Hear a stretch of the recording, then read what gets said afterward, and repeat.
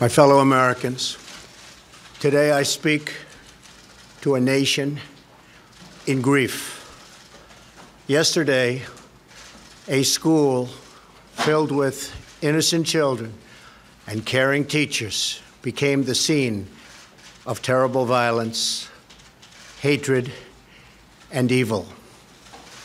Around 2:30 yesterday afternoon, police responded to reports of gunfire at Marjory Stoneman Douglas High School in Parkland, Florida, a great and safe community.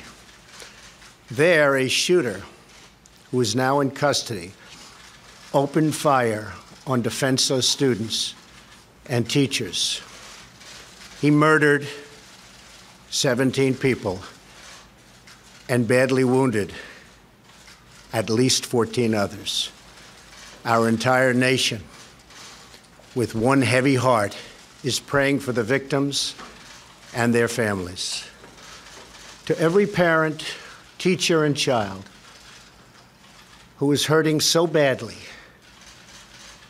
we are here for you, whatever you need, whatever we can do to ease your pain.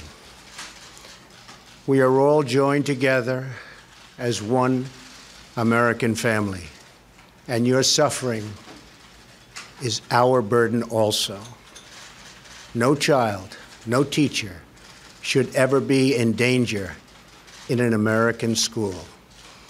No parent should ever have to fear for their sons and daughters when they kiss them goodbye in the morning.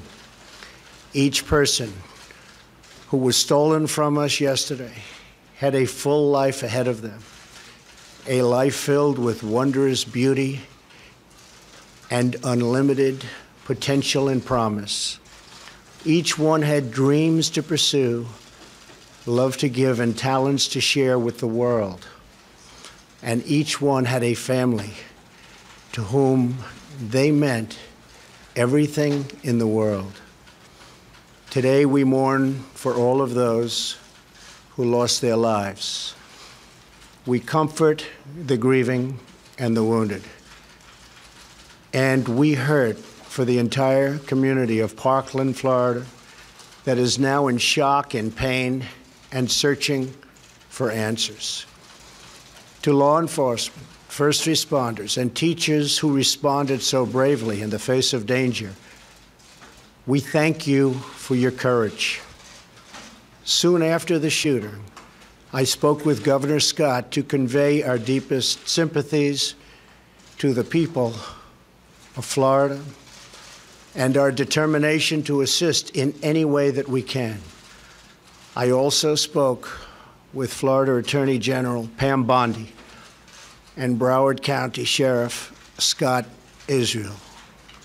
I'm making plans to visit Parkland to meet with families and local officials and to continue coordinating the federal response. In these moments of heartache and darkness, we hold on to God's word in Scripture. I have heard your prayer and seen your tears. I will heal you. We trust in that promise and we hold fast to our fellow Americans in their time of sorrow. I want to speak now directly to America's children, especially those who feel lost, alone, confused, or even scared. I want you to know that you are never alone and you never will be. You have people who care about you, who love you, and who will do anything at all to protect you. If you need help, turn to a teacher a family member, a local police officer, or a faith leader. Answer hate with love, answer cruelty with kindness. We must also work together to create a culture in our country that embraces the dignity of life, that creates deep and meaningful human connections, and that turns classmates and colleagues into friends and neighbors. Our administration is working closely with local authorities to investigate the shooting and learn everything we can.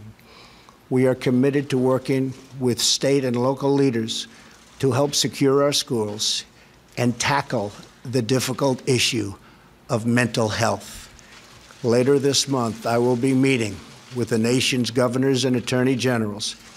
Where making our schools and our children safer will be our top priority. It is not enough to simply take actions that make us feel like we are making a difference. We must actually make that difference.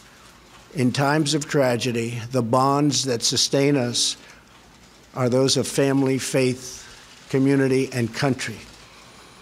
These bonds are stronger than the forces of hatred and evil, and these bonds grow even stronger in the hours of our greatest need. And so, always, but especially today, let us hold our loved ones close. Let us pray for healing and for peace. And let us come together as one nation to wipe away the tears and strive for a much better tomorrow. Thank you, and God bless you all. Thank you very much.